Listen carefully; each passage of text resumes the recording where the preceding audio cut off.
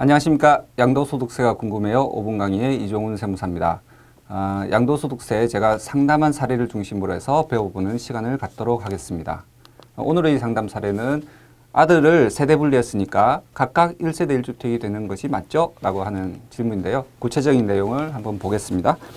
음, 아들하고 같이 살고 있었는데 아들 명의로 집이 한 채 있어서 1세대 2주택이 되잖아요. 그래서 이번에 아들을 세대 분리했어요. 그러니까 각각 1세대 1주택이 되는 거죠. 라는 질문이었습니다. 어, 이 질문에 대답하기 위해서는 1세대라는 게 어떤 건지 개념을 정확하게 잡으셔야 됩니다. 음, 세법에 따른 정의에 따르면 그 거주자 및 그 배우자 예, 부부를 말합니다. 부부가 그들과 같은 주소, 같은 곳에서 생계를 같이 하는 가족을 어, 세대라고 합니다. 이 세대는 일시적으로 어, 취약이나 어, 직업 때문에 떨어져 살아도 같은 어, 일시적으로 떨어져 있다면 같은 가족이 되는 것이고요. 이 가족의 대상은 거주자와 그 배우자, 즉 부부를 얘기합니다. 부부와 그 부부의 직계 존속, 직계 비속, 네. 그리고 그 부부의 형제 자매까지입니다. 형제 자매의 배우자는 포함되지 않습니다. 그래서 장인 장모, 그다음에 뭐 시아버지, 시, 에, 시부모, 시아주버니 그 다음에 며느리, 사위 이런 분들은 다 가족에 들어가지만 어, 형님의 부인, 즉 형수 또는 제수, 그다음에 형부, 제부 이런 분들은 가족의 범위에 포함되지 않습니다. 그리고 1세대는 어, 동일한 장소에서 같이 사는 사람이라고 했는데 만약에 주민등록상 어, 동일한 장소에 사는 사람이 사실상 주민등록 어, 장소에 사는 사람과 다르다라고 할 때는 어떻게 할 것이냐 사실상 현황에 따릅니다.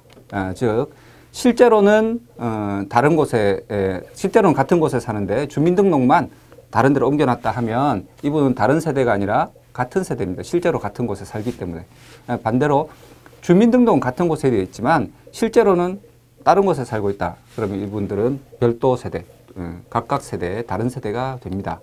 어, 그리고 부부는 그렇게 아무리 다른 곳에 살고 있다 하더라도 실제로 다른 곳에 살고 있다 하더라도 무조건 한 세대가 됩니다. 그렇지만 부부가 이혼을 했다. 어, 이혼을 한 부부는 같은 집에 살더라도 별도 세대입니다. 즉 이혼은 법률혼을 더 중시하기 때문에 법률적 이혼을 하면 완전히 예, 다른 사, 남남이 되는 거죠. 같은 집에 아무리 살다 하더라도. 근데 이게 이것은 지금까지 예, 해석이었고요. 어, 세법 개정안이 예고되어 있습니다. 어, 지금 2018년 현재까지는 그런데 19년부터는 위장 이혼을 방지하기 위해서 실제로 이혼은 안 했지만 사실상 같이 거주하고 있다면 한 가족으로 한 세대로 보겠다라고 하는 안이 올라가 있기 때문에 이것들이 어떻게 음, 의결이 되는지 한번 추, 어, 유익게 한번 추이를 지켜보셔야 할 것 같고요. 부부가 가족의 구성원이다. 세대의 구성, 기본 구성원이다 라고 말씀을 드렸는데 이 부부가 아니라도 1세대로 보는 경우가 있습니다. 첫 번째로 30세가 넘은 분들, 30세가 넘은 분들은 혼자 살아도 그 1세대가 될 수 있고요. 그 다음에 30세가 아니지만 이미 결혼했는데 이혼했거나 배우자가 돌아가셨거나 해서 혼자 되신 분들, 30세가 안 넘어도 1세대가 됩니다. 그리고 결혼도 안 하고 30세도 안 넘었는데 1세대가 될 수 있는 사람들은 어, 그 주택을 유지 관리할 수 있는 충분한 소득을 어, 가지고 있는 분들은 1세대 단독 세대가 어, 될수 있습니다. 그래서 제가 이분에게는 어떤 대답을 해드렸냐면 이렇게 대답을 해드렸습니다.